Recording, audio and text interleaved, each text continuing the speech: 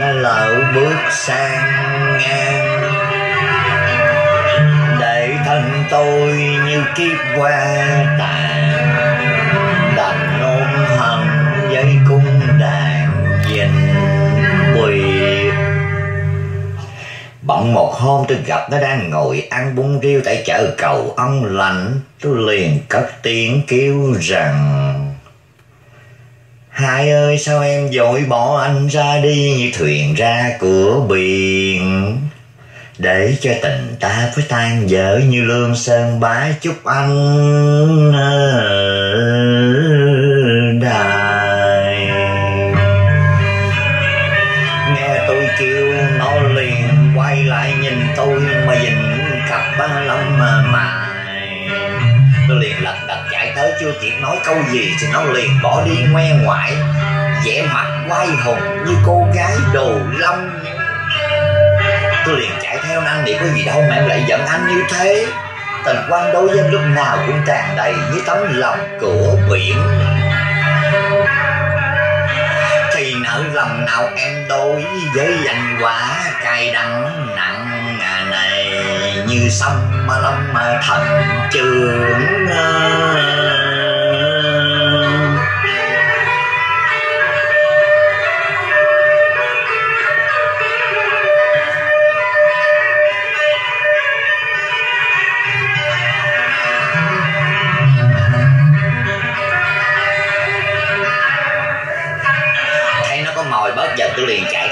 Theo xin em đừng giận anh như thế vì lúc nào anh cũng muốn đôi ta được đẹp duyên chùa tháp và xây đắp tình ta trong manh áo quê nghèo.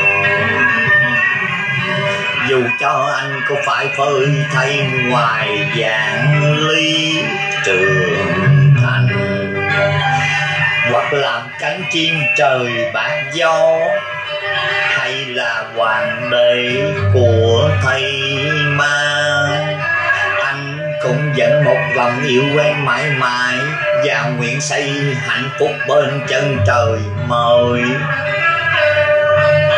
anh tặng nàng hai chuyện xe qua đường hương, tình trong lửa bán tình ca.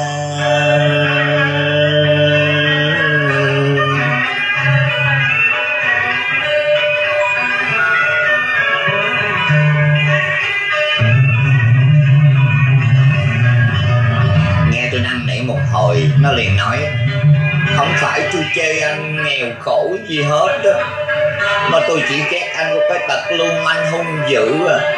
Tôi liền nói, không phải đâu em mà anh không bao giờ hung dữ như lệnh xé xác hay người giết mướn hoặc người đau phụ, mà sự thật anh hiền hòa như phật tử hốt phi.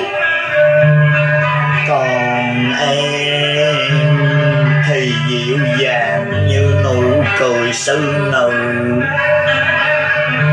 với một tâm hồn của người mẹ Việt Nam, em như người đẹp tô châu, còn anh dũng cảm như anh hùng xạ điêu. Cùng nhau xây đắp tình yêu nửa đời hương phấn khỏi cô liêu lạnh lùng.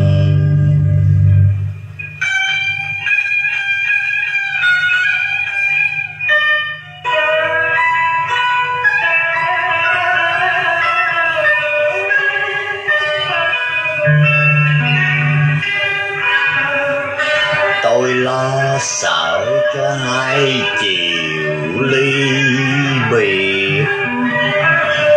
sợ con vợ nhà nôn gối theo tay, sợ sống lang thang như bà chúa ăn mài sợ nó vất vả như người không mẹ. Nhưng nó cũng bỏ tôi để tìm đường lên xứ thai tôi chỉ đứng nhìn theo mà lệ đổ như mơ rừng.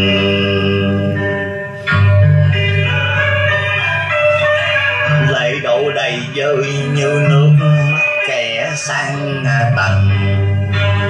Sống cảnh cô đơn, sầu lên ngọn cỏ, gợi tâm hồn theo lá của rừng xanh đôi mắt người xưa nay không còn thấy nữa. Đã đi rồi, theo gió ngựa đêm trăng anh đợi em hai mùa thu lạnh. Chỉ nghe trống hoàng hôn bên giường. Hạnh sao mà chùa?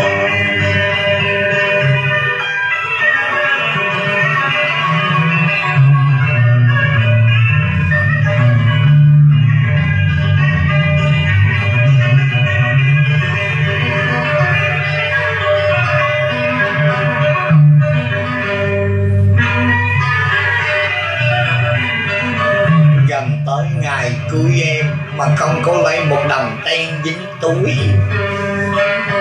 Phải dài tiền xanh à, xích à, đứt à, đuôi dài vàng sao bạc mùi. Dù biết họ cho dai ăn lời thắt hồng nhưng anh đây cũng vẫn tôi cười. Vì anh quý em như tình nàng ca kỳ như cô giáo hiền, như người đẹp qua thôn Vậy em có nói với anh rằng khi chúng ta yêu nhau thì dù cho có đầu lông đao hay gương ngũ đế cũng không dễ gì chia rẽ. Thế mà nay em lại đem lòng bội phản đế, Nằm cạnh bụi mở ái nhạc để tình ta theo nước chai qua cầu.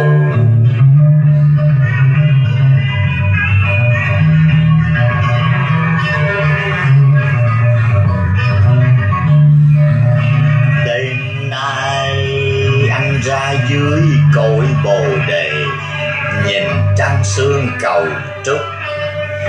Gợi tâm hồn theo tiên công sang canh bỗng từ xa dài tiếng cú rút lên rợn người như hồn ma báo quan.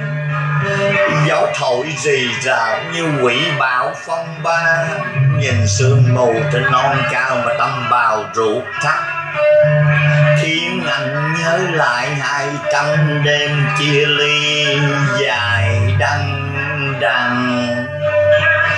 Nhớ lại bóng hình của em cũng như con gái chị hằng. Em đã lỡ bước sang ngang, một trang tình sự của nàng đã qua. sông đà mắt em là bể hoàng cụ ngàn xưa.